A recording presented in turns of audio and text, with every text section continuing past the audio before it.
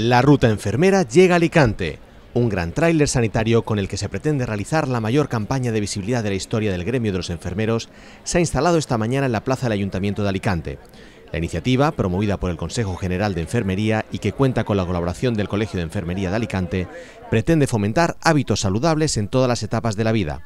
Para ello, charlas, talleres y actividades sobre diferentes temáticas. Educación diabetológica, alimentación, higiene postural, disfagia, lactancia materna, el ejercicio de fuerza física, la enfermería escolar, el uso adecuado y saludable de las tecnologías, la prevención de los accidentes en el hogar, hábitos de vida saludable, reanimación cardiopulmonar, atragantamientos, primeros auxilios, entre otros. Además, otro de los objetivos de esta campaña es dar a conocer la labor de los profesionales de enfermería.